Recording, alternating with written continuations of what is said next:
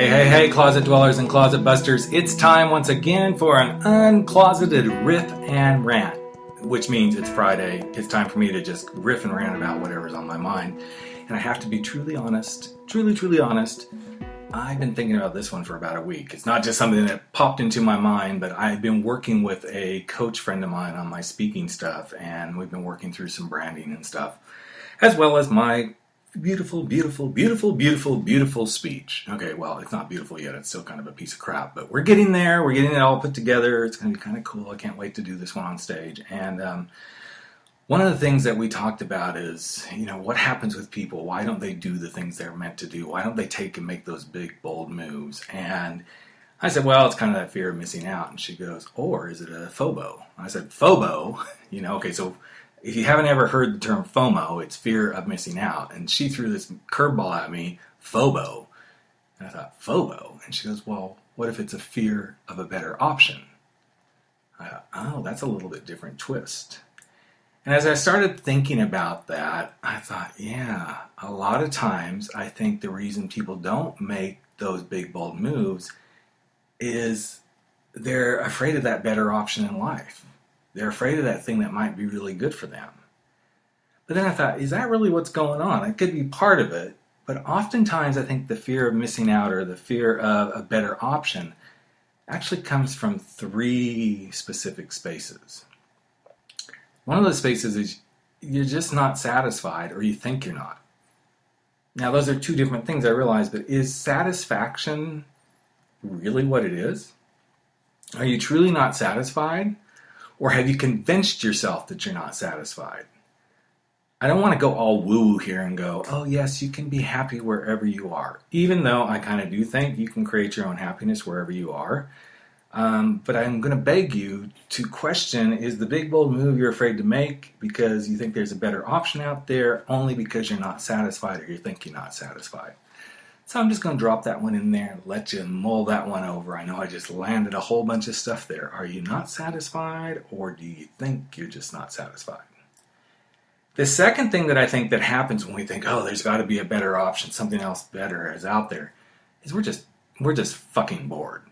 we're bored out of our gourd. I don't know if you ever heard that phrase, but my my I want to say my grandmother, my dad's grandmother used to say that quite a bit and the boredom often comes from being very self induced. We bring boredom on ourselves. Oh, I don't want to do that. Oh, I don't want to do that. Or I don't want to do that either. Well, by the time you say, I don't want to do that or that or that, you pretty much have boarded yourself to death because there isn't anything you seem to want to do. So I'd ask you that when you think about these better options and you don't act on them, are you boring yourself to death?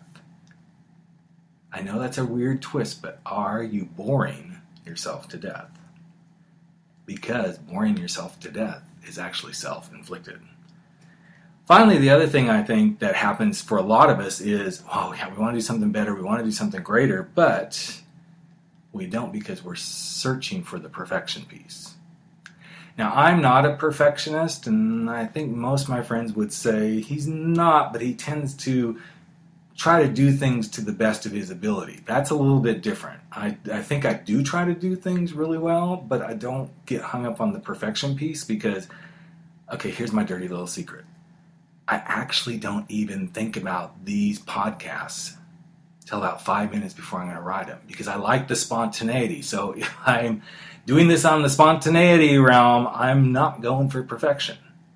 But I think oftentimes the reason we don't go for the better things is because we, we're waiting for the perfect time. And there is no perfect time. I know you guys have heard this, but I also want you to think about if you're going for the better option, does it have to be the perfect option, or can it just be a slightly better option?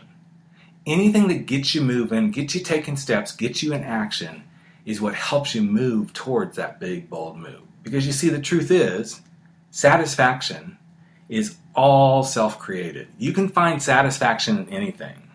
Boredom is just a way of maybe avoiding doing stuff we got to do. Uh, I'm just bored with that. Well, are you really bored with that, or do you just not want to do it, or you know you should do it, but it just doesn't fit right now? Think about how boredom might be your way, your defensive mechanism, your little shield of armor to keep you from doing stuff. And also remember that better often doesn't just mean perfection. Better could simply be doing something just slightly different. So when you think about the fear of missing out or the fear of a better option, remember, you don't have to be fully satisfied to go do it. And you don't have to be bored to death to avoid it. And you don't have to constantly be searching for perfection to keep from doing it. Because here's what I believe the fear of better options is oftentimes just discontent with what we already have. And if you're discontent just because with what you have, then do something about it. But look at it and go, Am I really discontent? Or am I just not excited about it in the way I could be? I've got this in my abilities. I've got this in my hands. I've got this beautiful home or I've got this great opportunity. I just don't know if I really want to go for it because I'm just kind of discontent. And so look inside yourself, ask the questions Am I discontent? Is that the reason I'm afraid of a better option? And with that, I'm going to call it quits for today. Remember, in August, just a few weeks from now, we are going to be celebrating the 200th episode of Life Uncloseted.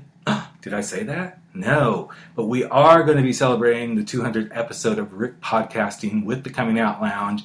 And I'm hoping, I'm hoping, I'm hoping that when we do that, we will introduce the new podcast, Life Uncloseted. But until then, stay tuned. I love you. Thanks for listening and have a great week. And we will catch up with you in just a very, very, very, very few days. Take care, everyone. Bye bye.